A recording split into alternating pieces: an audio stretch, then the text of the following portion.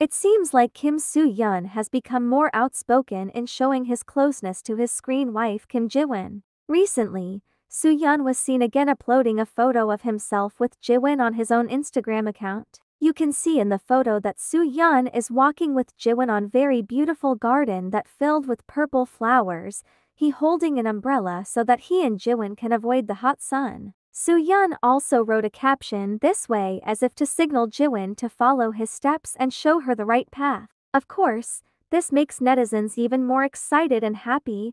Many of them hope that Soo-hyun and Jiwon can follow Hyun Bin and Son Ye-jin to become a couple in the real life. Regardless of their relationship status in the future, let's continue to support them no matter what.